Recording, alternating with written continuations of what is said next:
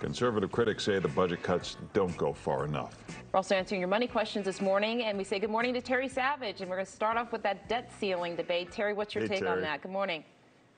Good morning. Well, you know, you would think the stock market would be cheering the prospects of a deal, but the Dow is actually down well over 200 points this morning for a couple of reasons. The first is um, it's not a done deal yet.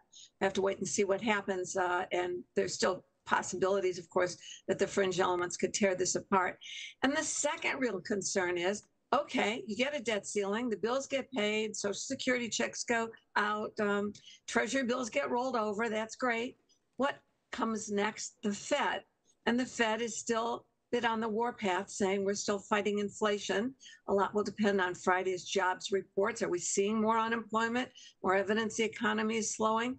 Fed people have been out speaking and saying, you know what?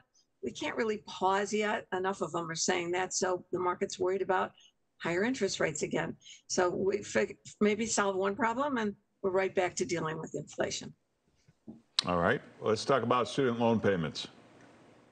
Oh, well, this is really a critical part. Then nobody noticed this really of the debt ceiling deal.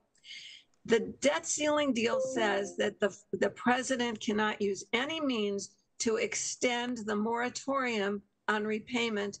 And there's, of course, no interest being charged now. So that means by August, on August 30th, uh, so around Labor Day weekend, you're going to have to start repaying your student loan debt. Now, some of you may be saying, but wait, wait, isn't the Supreme Court looking at a deal about loan forgiveness? Yes, that's still a possibility. The Supreme Court has not ruled on the plan for 10,000, even $20,000 worth of loan forgiveness, but that stands separately. If you have student loans outstanding, start saving some money now and plan to start your repayment. Now, they haven't said what the repayment terms will be, if there'll be a little bit of additional grace. We haven't heard the Supreme Court ruling on the loan forgiveness, and there might be some other mechanisms. But as part of this deal, do not look for this ex- moratorium to be extended. Get to some viewer questions, Terry. The first one is I am 59 years old and I have $30,000 in credit card debt. I own a house valued at $400,000 that is paid off. My yearly income is $80,000. Should I took out a, should I take out a home equity loan to pay off my debts? No. Oh, no, no, no, no, no, no, no, and no again. Uh, First rule, when you're in a deep hole, stop digging. Do not take out a home equity loan. First of all, you'll probably be paying only interest and be left with a balloon payment down the road. Second of all, those rates can fluctuate. Um, I, we always, I wonder if you have the toll free number for Consumer Credit Counseling Services, the 800 388 2227. It's always up at terrysavage.com. Well, let me take a second and give you the simple rule for paying down that credit card. Take this month's minimum payment, whatever it is, let's say it's $100, double it, $200, and pay that same amount every month, $200 every month, not the new lower minimum doubled, but the same amount. Don't charge another penny. You can pay off the balance in less than three years. That's the way out of credit card debt. All right, here's another question. I purchased, or I thought I purchased, $15,000 in T-bills last Thursday for 13 weeks, but I still haven't seen it or taken out of my account. It was set up to happen at the end of July. How do I check? Well, first of all, you should go back to your treasurydirect.gov account. Instructions are at terrysavage.com. Takes a day or two for them to withdraw the money from your bank. They don't take all the money out, they leave the interest in your account. If it doesn't get taken out after a week, you know you probably forgot to uh, submit again on that very last screen. You can go ahead and enter a new order if it hasn't been taken out after a week.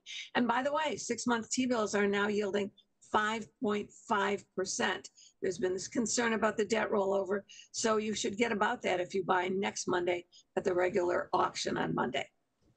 Next question Should we be buying gold and silver to protect retirement funds from the Biden administration? What percentage should we put into gold and silver? If so, how do we know who to trust with our funds? Whoa, I don't know how to tear that one apart. You're not protecting your uh, retirement funds from any particular administration. Gold has historically been sort of a hedge against inflation. It hasn't worked very well over the last couple of years. Uh, gold has bounced back now. It was over 2,000 ounce. It's now about $1,965 an ounce. And if you want to have in your IRA some gold, I recommend not going to those companies that say you can buy gold bullion in your IRA. You can just buy a gold mutual fund. There are a number of them.